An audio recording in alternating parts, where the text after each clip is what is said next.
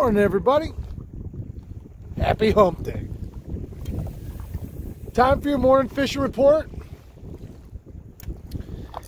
It was 61 degrees when I left the house this morning. I got a late start. Seems I needed a little extra sleep this morning. I uh, left the house. It was 61. Winds blowing out of this uh, out of the west southwest, probably. Oh, I don't know.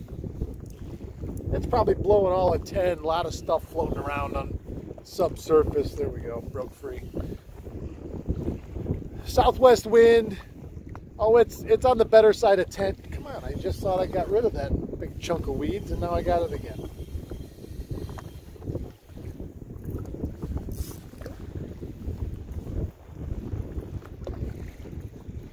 Still a lot of floating debris down here. Probably will be for another couple weeks. Haven't seen any of the weeds start to die off yet. Uh, it's still too early, still too warm. Water temperature with the splash test with my feet. Don't know how much longer I'll be able to do this, but uh, actually every time this morning my toes got cold, I dunked them in the water and it warmed them right up. So that water temps are still in the 70s, probably low to mid 70s still, I would assume. Uh, Beautiful day, had a gorgeous sunrise, my lord. I love a sunrise when there's some clouds and some stuff in the sky as opposed to just a clear sky because it gives it a little bit of texture, a little bit of interest. There's more things to look at, you know, visually it's a little more stimulating. And boy, did we have a dandy this morning. I come underneath the 81 bridge and, and you could see that, so, so the sunrise was on the left-hand side and it had this long sweeping pink cigar cloud that went all the way to the west, or sorry, all the way to the east, right down the middle of the lake. It was uh, it was gorgeous. It was breathtaking. I stopped and took a picture of it. I'll put it up uh, on Instagram when I when I get in. Uh, it's gorgeous, gorgeous. I, I love to I love to see it. I love to see it every morning. I love to see it. So I hit three different spots here on the west end. Uh, let's call it the 133 drift. I started, I started west of 133 about a half a mile with that southwest breeze, that southwest wind. that's pushing me across the channel, across the big flat, uh, pushing me north. I, I, I moved three different times and I, I haven't, I haven't done anything. It's 7.30 now. By the time I got out here, it was 25 after 6, so I've had an hour to fish this morning. And I fished it pretty hard to no avail.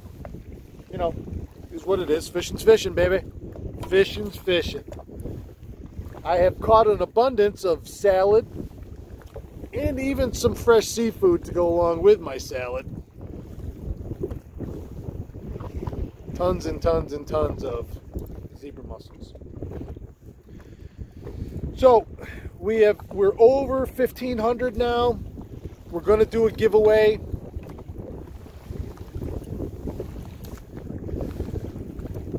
I spent the evening thinking about it. I don't have any I don't have anything, you know, crazy in mind. It's going to be everybody today if you listen all the way to the end, everybody today that likes and comments on this video in YouTube, not where I share it on Facebook or Instagram, if you like and comment this video here in YouTube, that's all you have to do. And tomorrow morning, so it'll be for a full 24 hours. Tomorrow morning when I get back tomorrow morning when I get back from fishing, no, I'll announce it tomorrow morning. All right, so tomorrow morning before I go, I'll I'll put all the names in a hat and I'll pick a name tomorrow morning from everybody that has liked and commented on this fishing report this morning. That's what we'll do. So, until you got until tomorrow morning about 5 a.m to like and comment on this, and, and that enters you to win the giveaway. And I'm going to give away a t shirt of your choice and a pair of uh, in the in a pair of Awakening Angler stickers. That's what we're doing. So you're gonna like and comment. You're gonna keep the weeds off my lure. If somebody could please do that, so I could catch fish, that would be greatly appreciated. And that's that. So that's that's the morning report. That's our 1500 subscriber giveaway. Thank you so much, everybody. We keep growing every day, and it's it's it's so humbling and gratifying. I also want to do a big shout out. I think Courtney and I have been to the fair now three times today, or three times so far. We got a couple more to go. Last night, I'm going to tell you something. My wife has been looking forward to the Culture Club Boy George concert since they announced it. It was over at the back Chevy stage behind the Expo Center last night. And yesterday, when I knew we were going, I kept thinking to myself all day, I'm a kid of the 80s, so I mean, it's not like I don't know their music. I, I wasn't a fan necessarily, and that really wasn't my scene as a kid, but I tried thinking last night and all day yesterday before we went to the show, like, what's it going to be like? You know, this is a band and a guy that, you know, their front guy that back in the day was controversial and was this and was that and, and what kind of crowd was going to be there and what was my expectations of it and but no matter what, I was going because my wife wanted to go. And she's been to a lot of concerts that she could care less about that I really want to go to. And so, if for, if for no other reason, just to return that favor to her was was wonderful for me to be able to do.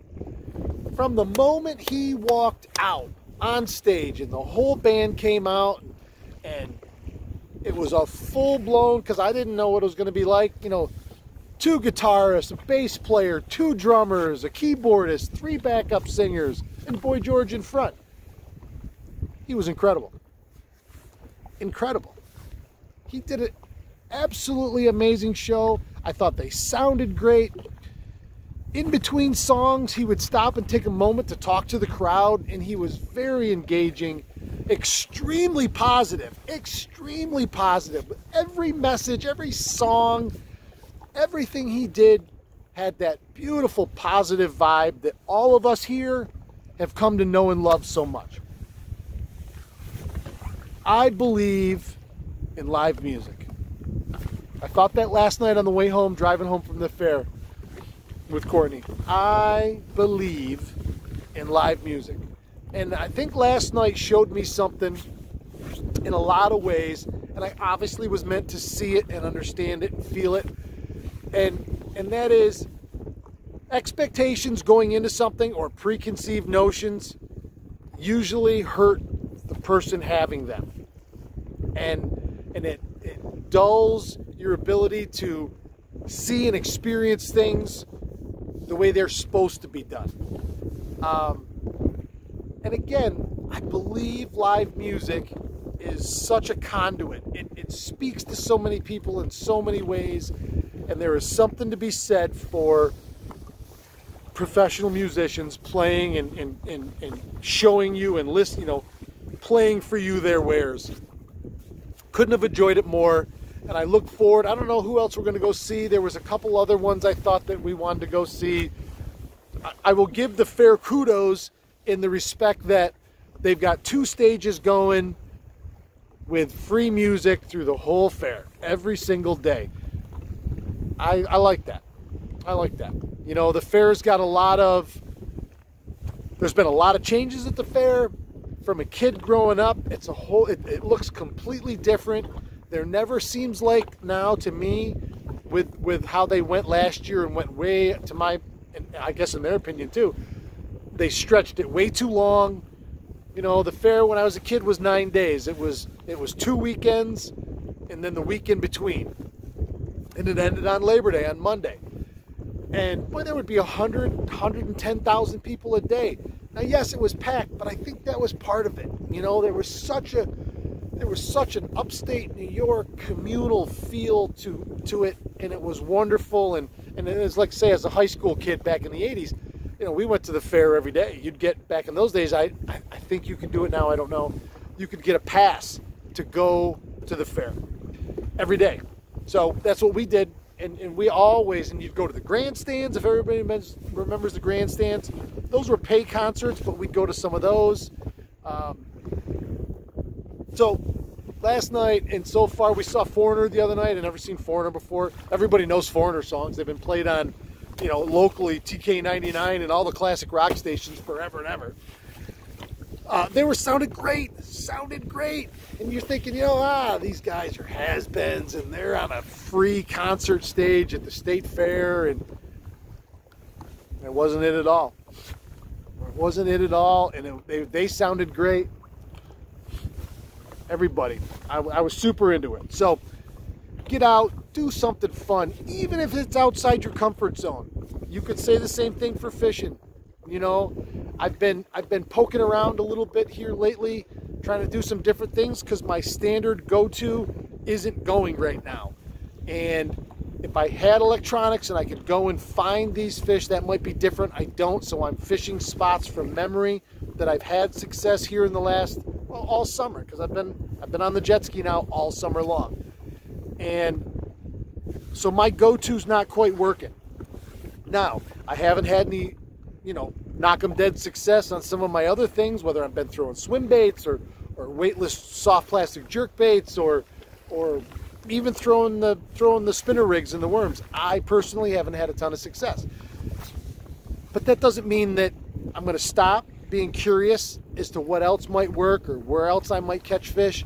Just like I'm not going to be, I'm not going to stop being curious about life, what life has to offer me.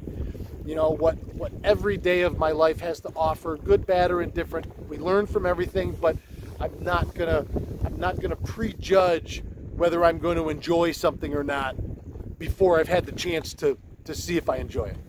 So that's my that's my few minutes this morning i hope every single person out there has a great day i hope every single person finds something today that that surprises them and brings them joy and, and, and it's a gift that, that you take in.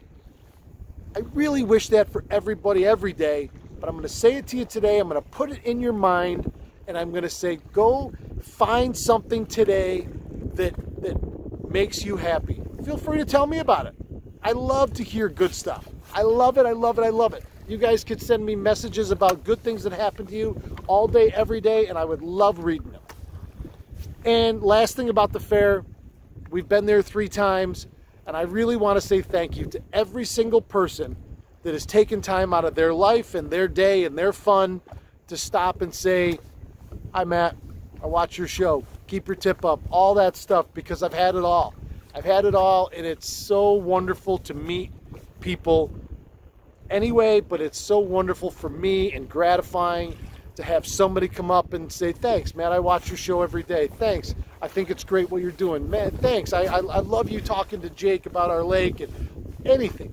I love when you guys went out with Tony and you and Mike went out with Tony and, and, and I, you know, Don said to me yesterday, my buddy Don Birdie, somebody came up to the fair at him yesterday and said, hey, you're that one of those guys that fishes with the Awakening Angler. And he was blown away. So all of those things are amazing and wonderful, and I love it, and I want to thank every single one of you. So, I'm out of here. 13 and a half minutes. Almost 14. Man, I talk too much. Thanks, everybody. Keep your tip up. Have a great day.